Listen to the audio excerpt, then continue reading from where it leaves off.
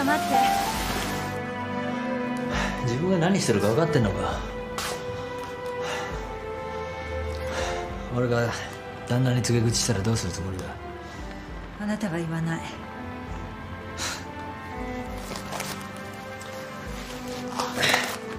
クビになるのが嫌だから言わないと思ってんのか。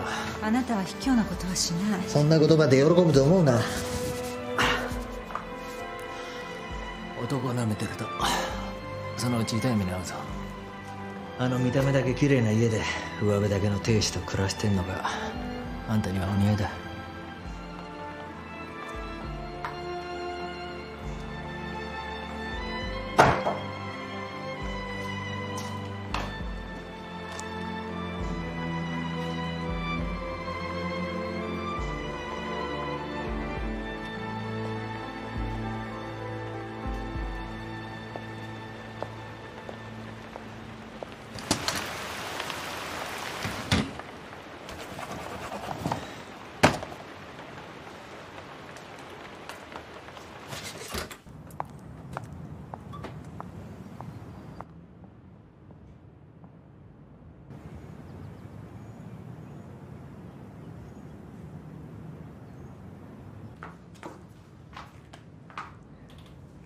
仕事クビになったって聞きました。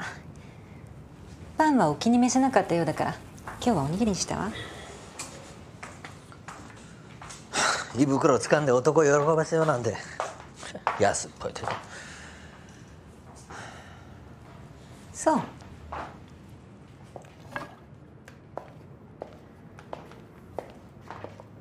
おい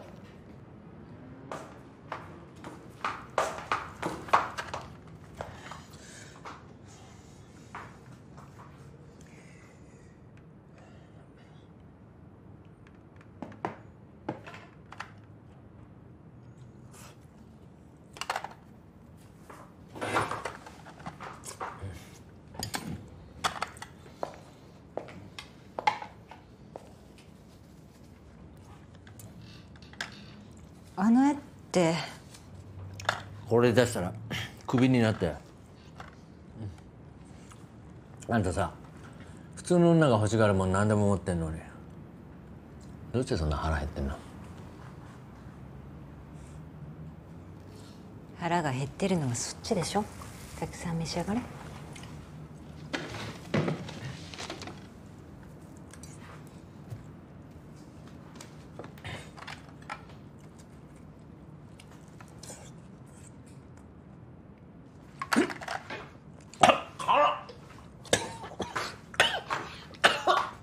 毒入りよ。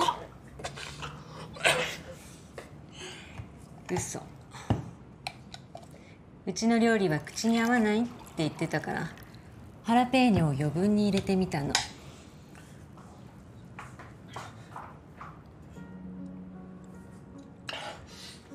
私ねこう見えて自分から男には迫らないの。男の楽しみを奪いたくないから。でもあなたにはそんな気遣いをしてあげる必要なさそうね。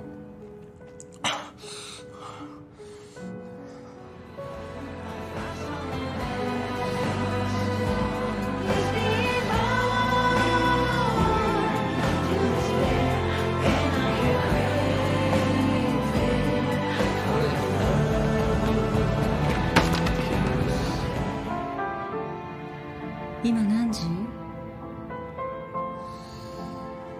もうすぐ5時。帰るわ。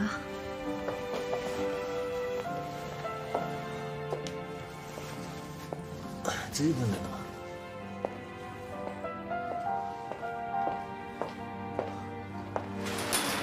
子供たちが帰ってくるから5時には出たいの。手慣れてるね。冷める？いや。そっちは口ほどでもなかったわね芸術家ってどんなのかと思ったけど案外普通で驚いたわ。褒めてるつもりだけど。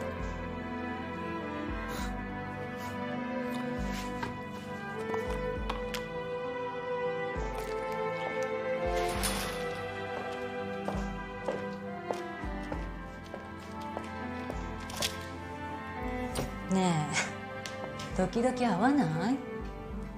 平日の午後3時から5時までの2時間なら自由が利くわ。不満？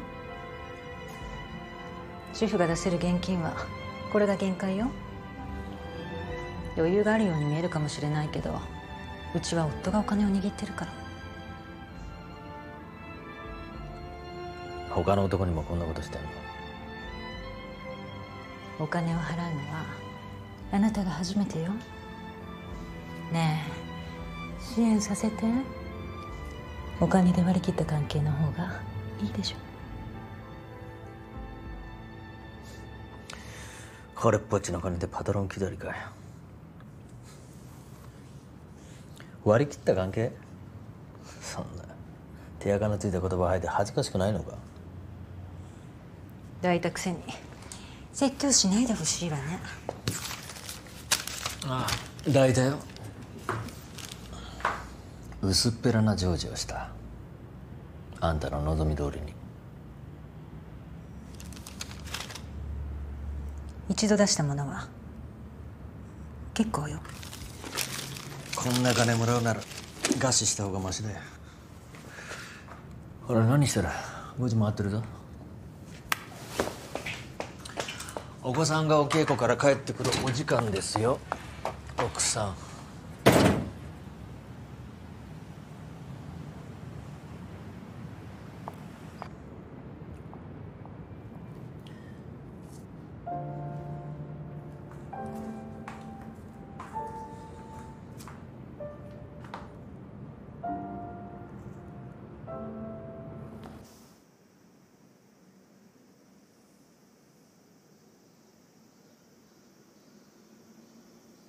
ああ抱いたよ薄っぺらな成就をした。あんたの望む通りに。